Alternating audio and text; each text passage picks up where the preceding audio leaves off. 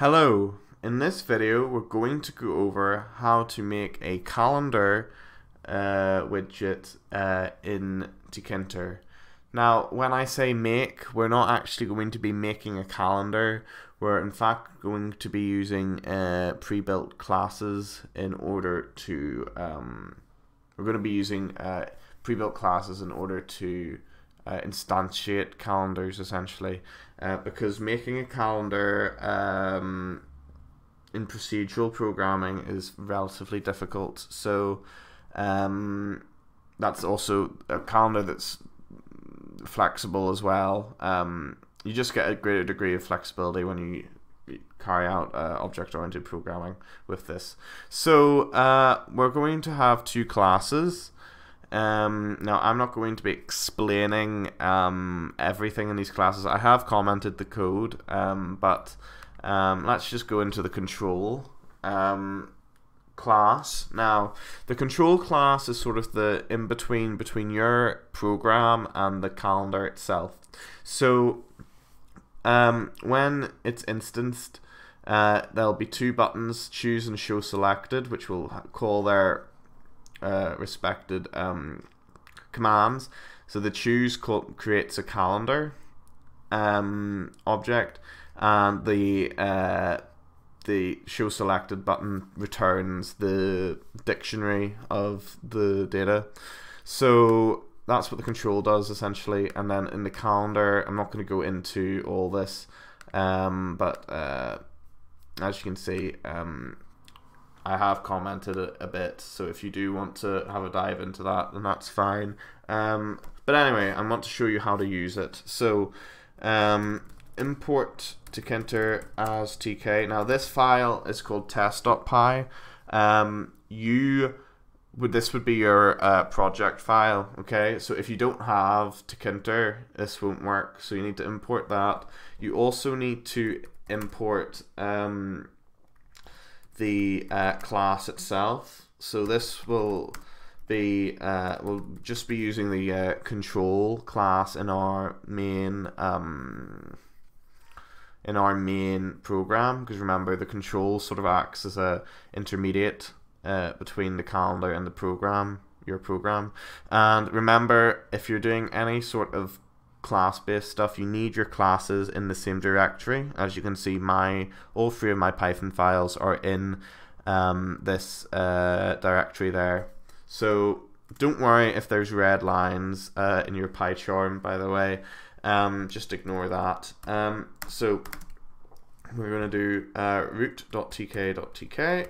Now this is just an example. Um, uh, program that I'm writing here. So this is the bit that I uh, is is where we uh, use the class. So um, what we need to do is define a control or a control object. So we're going to give it a name. So we're going to call it app, and that's going to equal control. Um, and then um, yeah, and then we're going to pass in the frame we want it to be in. In this case, the root frame, because there's no other frame. Um, so what is this? Um, well, um, this is called the constructor uh, for an object. Um, I'm not going to go into any more detail than that. Just, um, just this is what you do in order to create a control object. Okay, um, and then that's it. We're going to do root dot main loop.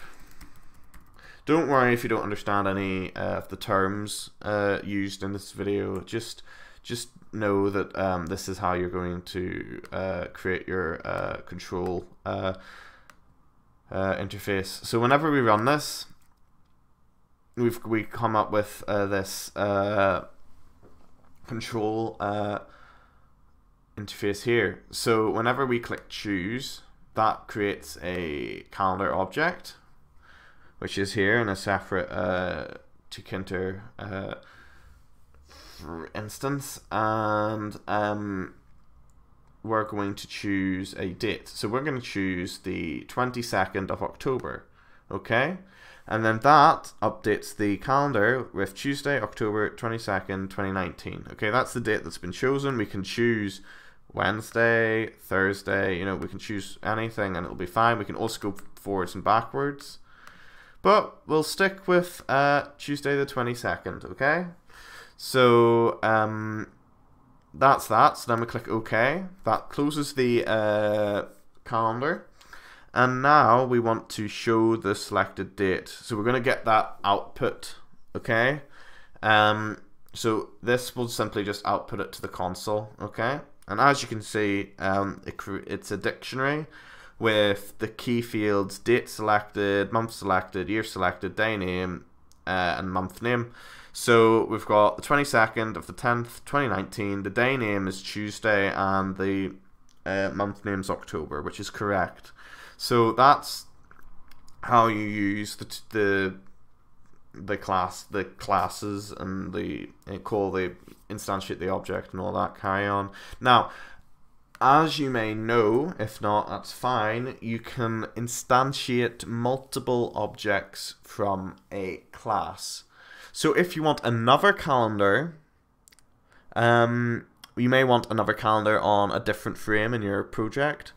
Um, you can simply do the same thing. Uh, let's just call it, since this is a control object, um, I'm just going to call it control 2 uh, equals control. Um, and then you may have, you'll, you probably have a different frame in there. But um, whenever we run this again, you can see we now have two controllers. Now, if I choose a date here, let's say the 22nd of October, and then let's choose, I don't know, uh, January, uh, Wednesday, uh, Wednesday the 9th of January, January, January, uh, um, then, um, whenever we do show selected, um, we get the dictionary for that one, and then we get the dictionary for that one there. Okay, so um, as you can see, the, the that's why object-oriented programming is quite powerful because of code reuse. Uh, we didn't have to do anything else apart from instantiate a new object uh, to make that happen. Um, so yeah, no, that's that's essentially it for this video. Just remember, uh, I'll have the two uh, classes in, on the GitHub, and I will also also want to remind you that you need them to be in the same directory there. But yeah, no, thank you for watching. Goodbye.